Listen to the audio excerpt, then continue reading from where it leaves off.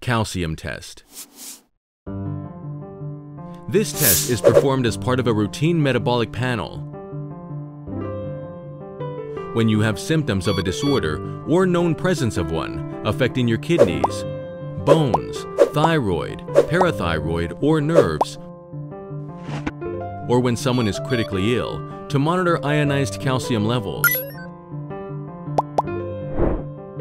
Calcium is the most abundant and one of the most important minerals in the body.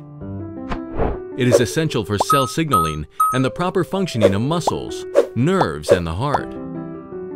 Calcium is crucial for the formation, density, and maintenance of bones and teeth, as about 99% of calcium is found complexed in the bones, while the remaining 1% circulates in the blood.